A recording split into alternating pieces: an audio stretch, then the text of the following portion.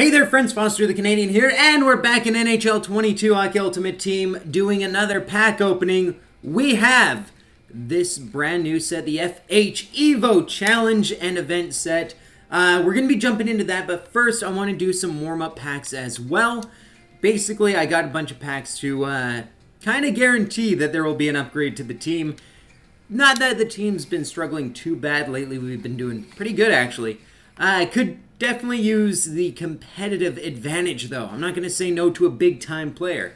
And uh, no, Dobson wasn't too bad. We got Durzi, Gage Quinney, Chad Deneau, uh, Axel Jonsson, Fjallby. Wow, dude's going to quit hockey and become, like, a heavy metal rocker for sure.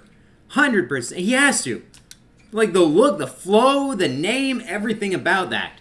Uh, we've got a mini pack, a player's pack, and then we got a couple of those uh, exchange packs, which you guys have been telling me that the exchanges this year are actually really good, and they weren't too bad last year either, so we're going to jump in and see what we can get here.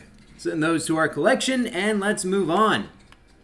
So yeah, player's pack first, because uh, why not? And then we'll do the exchanges, and then, then we'll jump into the real deal, the meat and potatoes of this video, and hopefully get something pretty good. We got Marcus Hogberg, all right, Jason Zucker, not too shabby. Definitely not too shabby. Good player. We've got Will Borgen, and I'll take Brock Nelson. That's not too bad at all. Send that to my collection. We've got the Movember stash in full effect, so hopefully we can get something crazy here. We got a premium two gold players pack, and then an 82 plus overall player pack. David Rittich, we got the goalie mojo continuing. And Jarnik. All right, send those to our collection. So we're going to get at least one more 82 plus overall player. Let's see what it can be. Let's see what it can be. We've got Tyler Lewington. We got Gregoire. And hey, DeBrincat, not bad. That's going to be our 82 plus player, and um, not a bad one. Not a bad And Jakub Vrana, all right. All right, we'll take 282 plus overall players. That's actually decent. Wow, you guys weren't joking. You guys weren't joking. That was good. We had 282 plus players. All right, send that to my collection. DeBrincat, a good player, great player actually. Probably a little underrated. Mostly because of the team he plays for right now. But now, this is the, the, the big part of the video. This is what you've been waiting for. We got the Week 1 Fantasy Evo Prospect Pack. I did some wheeling and dealing. You get 12 items, Fantasy Hockey Prospect Player item, and 5 Guaranteed Gold Player items. I'm excited about the Fantasy Hockey thing, so let's see who we can get. Let's see who we can get. We got Bob Adams. We got the Rochester Americans. We got Curtis McDermott. Ryan Gropp.